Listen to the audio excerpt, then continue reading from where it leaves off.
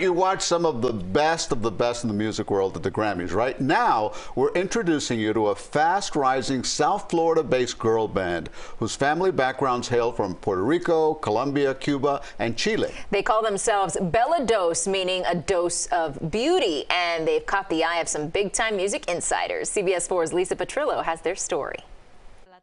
Meet Melanie, Thais, Jennifer, and Brianna. They are Bella Dose, a self described girl band that Rolling Stone named one of the Latin acts to watch in 2023. The bilingual group mixes together pop, salsa, merengue, and more, producing a sound that's as diverse as they are, and all call Miami home. This is Miami, and you guys are Miami based. Tell me how it feels to representing the community in which you all live.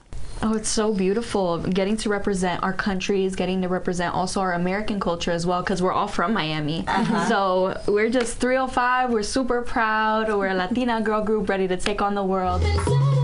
They're not blood related, but are true sisters. Brianna's mom, Vicky, created the group back in 2017, and they've been living together ever since. So we were just like, you know, we need to learn to like love each other and be best friends because I think that's the main foundation of our group is how close we are as sisters. Already popular on TikTok, they rose to new heights when Colombian-born mega pop star Shakira recreated their signature popular dance rotation to her own song on Instagram and TikTok. The singer posted her inspiration was Bella Dose. Melanie was the first to see it.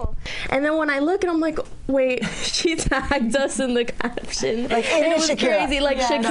and I had to literally check a thousand times because it was Shakira verified at Bella Dose. Like, I was like, oh no, she's gonna post it on Instagram. Five minutes later, she posted it on Instagram. So when that happened, what happened to your social media? Oh, Spike. wow, like skyrocket. skyrocketed for Even sure. on like TikTok as as well on Instagram on all social media platforms, they've just been coming going up. Even our own uh, profile right now, our insights are 100 million right now. Yeah. Like, it's, insane.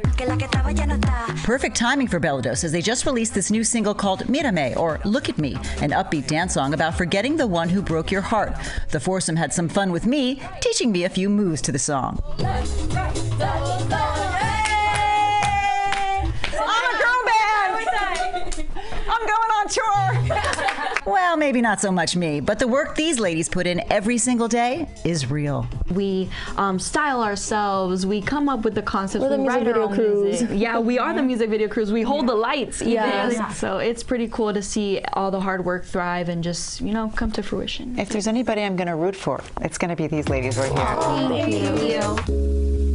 So what's next for Bella Dose? Their new single Mirame is out now. A new single Manifest is after that, and then an album coming within the year.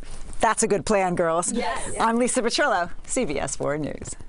Oh, Maybe good to see we'll- Miami girls do good. Yeah, maybe.